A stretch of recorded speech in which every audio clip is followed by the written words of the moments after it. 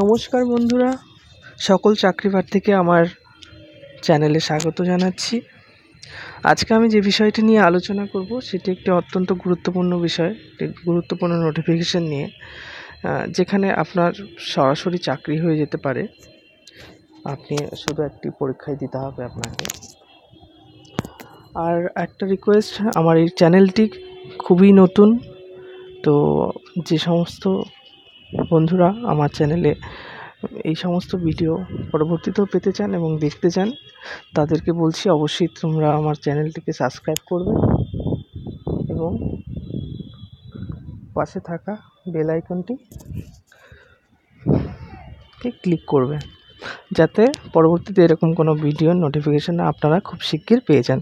তো ভিডিও বেশি দেরি না করে আমি শুরু করছি আমার ভিডিওটি।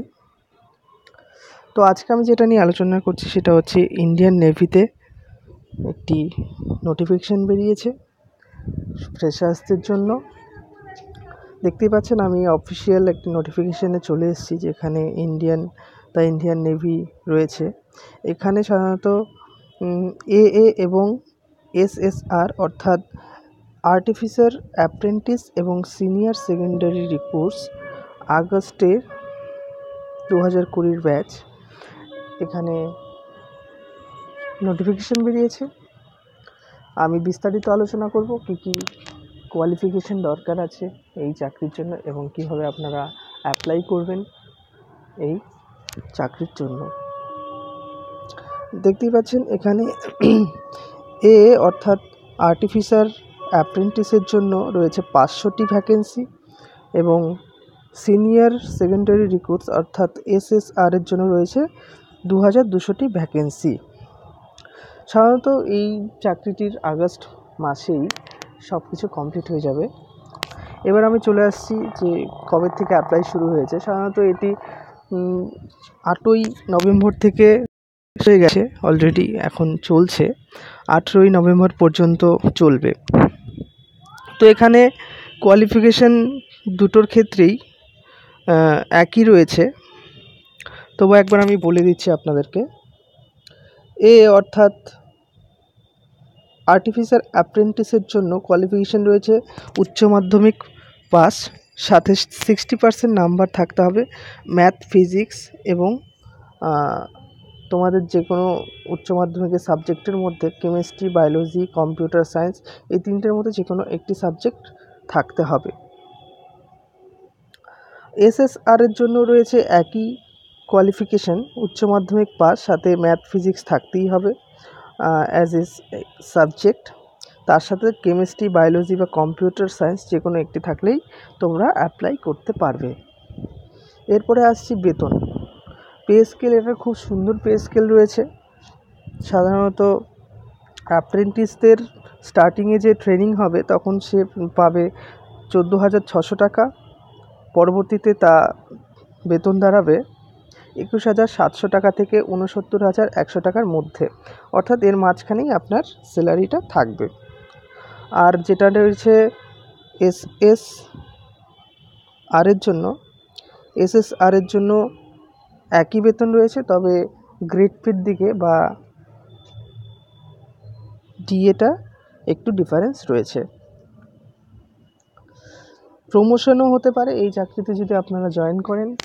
বা আপনার ছেলে মেয়ে বা তার বন্ধু যদি জয়েন করে, তবে এখান থেকে পরবর্তীতে প্রমোশনও হবে। প্রমোশন হলে পরে স্যালারি দাঁড়াবে সাতচল্লিশ হাজার ছশো টাকা থেকে এক লক্ষ পঞ্চাশ হাজার একশো টাকা পর্যন্ত বেতন এই চাকরিতে হবে।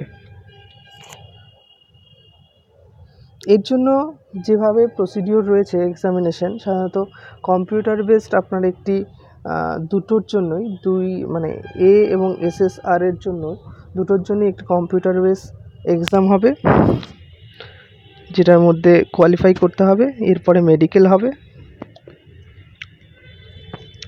যে একশো নম্বরের বা পরীক্ষা কম্পিউটার পরীক্ষাটি হবে, সেটি একশো নম্বরের পরীক্ষা হবে। প্রত্যেকটি কোশ্চেনের জন্য এক মার্ক এক মার্কস করে থাকবে। আর কোশ্চেনটা হবে হিন্দি বা ইংলিশে।